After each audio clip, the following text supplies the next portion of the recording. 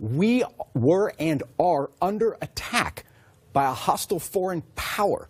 And uh, with Mr. Kushner and, and Mr. Manafort in the meeting, we were and are under attack by a hostile foreign power.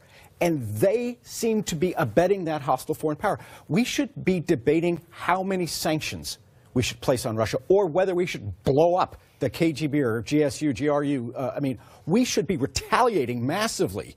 Because, by the way, if I were a Trump supporter, I would want to retaliate massively.